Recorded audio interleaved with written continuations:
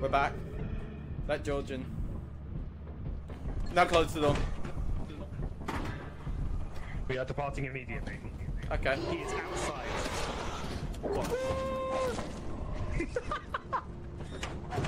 You- oh my god.